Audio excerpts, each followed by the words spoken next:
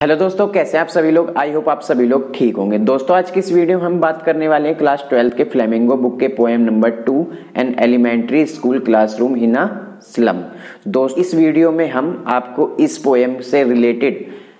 15 ऐसे important MCQ के बारे में बताने वाले हैं जो आपके बोर्ड एग्ज़ाम के लिए बहुत ज़्यादा इंपॉर्टेंट है। तो दोस्तों, आइए वीडियो को स्टार्ट करते हैं। वीडियो को स्टार्ट करने से पहले यदि आप मेरे चैनल पर नए हैं तो चैनल को सब्सक्राइब करें। और आने वाली नोटिफिकेशन सबसे पहले पाने के लिए नोटिफिकेशन बेल आइकन को प्रेस करना ना भूलें। तो दोस्तों, आइए वीडियो को स्टार्ट करते हैं। तो दोस्तों, इस पोएम का जो फ़र्स्ट क्वेश्चन है, वो है who has written the poem elementary school classroom in a slum इसका ऑप्शन नंबर ए है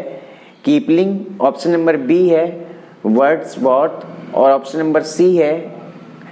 कमलानाथ ऑप्शन नंबर डी है स्टीफन स्प्लेंडर तो इसका जो आंसर होगा वो होगा option number D, Stephen Splendor. इसके बाद क्वेश्चन नंबर टू है what theme did the poet concentrate on in the poem तो इसका जो ऑप्शन नंबर ए है, वो है theme of social injustice and class inequalities option number B है theme of children and their happiness option number C है theme of insecurities और option number D है नन तो इसका जो आंसर होगा वो होगा option number A themes of social injustice and class inequalities इसके बाद क्वेश्चन नंबर थ्री है what does the poet portray in the poem इसका ऑप्शन नंबर ए है young minds option number B है playfulness of the children option number C है questions of children option number D है the plight of young children in the slums तो इसका जो answer होगा वो होगा option number D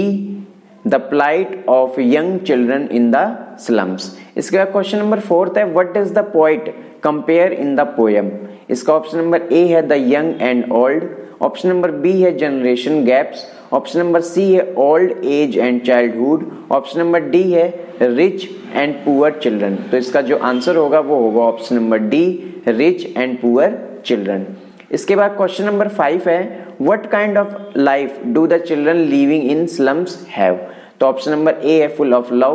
full of care and warm option number C hope less and full of struggle option number D है all of these तो इसका जो आंसर होगा, वो होगा option number C hopeless and full of struggle इसके बाद question number six है what does the poet compare the colour of walls with इसका जो ऑप्शन नंबर ए है rotten fruits option number B है stale chapatis option number C है rotten vegetables option number D है sour cream तो इसका जो आंसर होगा, वो होगा option number D sour cream इसके बाद क्वेश्चन नंबर सेवन है what are the poetic device use in the poem option number A है इसका alliteration and simile option number B है metaphor and imaginary option number C है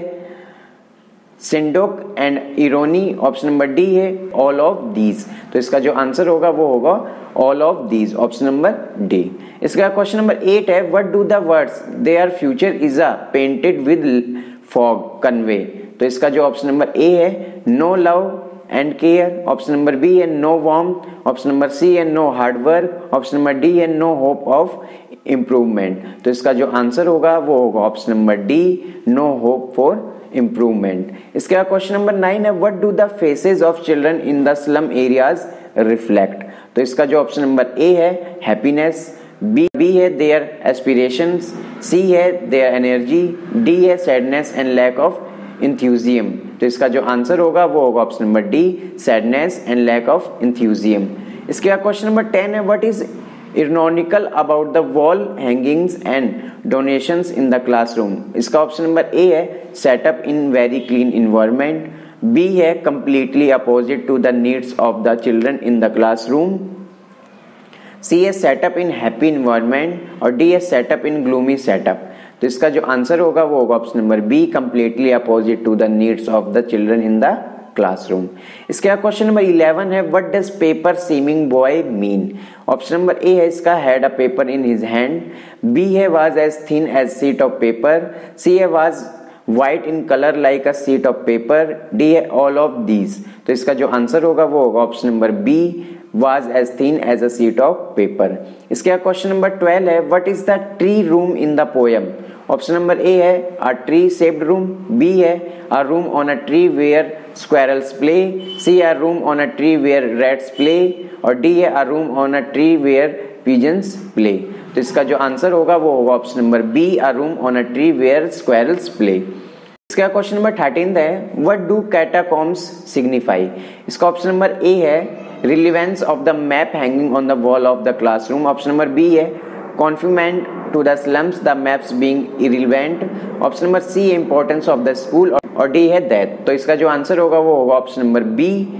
confinement to the slums the maps being irrelevant इसके बाद question number fourteen है why are the pictures and maps meaningless इसका option number A है they are fake and show a false thing B है they are old and have away और C है they show vastness which is opposite to the world and needs of the children in the classroom और D है all of these तो इसका जो answer होगा, वो होगा option number C they show vastness which is opposite to the world and need of the children in the classroom